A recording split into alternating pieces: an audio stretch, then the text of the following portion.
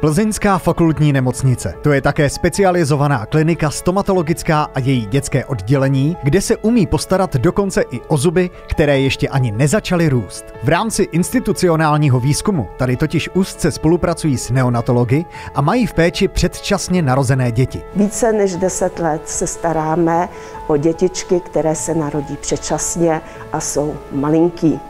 Ta spolupráce spočívá v tom smyslu, že z neonatologie nám tyto dětičky odesílají ve věku jednoho roku a my pokud rodiče mají zájem, si tyto děti bereme do péče a sledujeme si je a staráme se o ně až do toho 15. roku věku. To je něco, co nikde jinde nemají.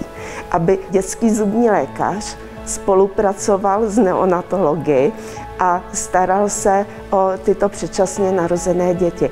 A myslím si, že to je ojedinělé i v rámci Evropy. Úplně všechny děti ve věku kolem jednoho roku by měl zubař prohlédnout a pak už bychom o stávající i rodící se zoubky měli pravidelně pečovat. To jsou určité rizikové skupiny a ty lze vytipovat už v tom jednom roce věku. U malinkých dětí, když je vyšetřujeme, tak používáme naprosto běžné metody vyšetření a Vyšetření samo o sobě je zcela bezbolestné. Stomatologická klinika fakultní nemocnice Plzeň je specializované pracoviště, kam své pacienty odesílají běžní zubaři. Jsou k nám odesílány děti s různými problémy, s kterými si praktičtí zubní lékaři nedovedou poradit.